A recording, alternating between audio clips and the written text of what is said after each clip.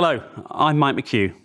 I'm a lecturer, but also Programme Director for the Professional Policing degree here at the University of Hull. The programme is enabled to allow you to look at various criminological theories, looking at areas of policing, and in particular, get a taste of what policing is like in the real life world by allowing you to apply to become a special constable within the Humberside Police area. This is an absolute unique selling point to the University of Hull. You will also have the opportunity, whilst on the course, to use your theoretical knowledge from the lecture theatre and put that into practice into our newly designed crime scene room. This will test your crime prevention skills, your investigation skills, and your all round knowledge of policing. It gives you an insight into the world of how evidence and policing work together.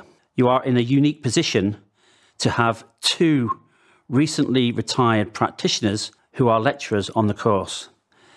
This provides you with lived experience when talking about all things related to policing. I hope you will take the opportunity and come and study at the University of Hull on the Professional Policing Programme.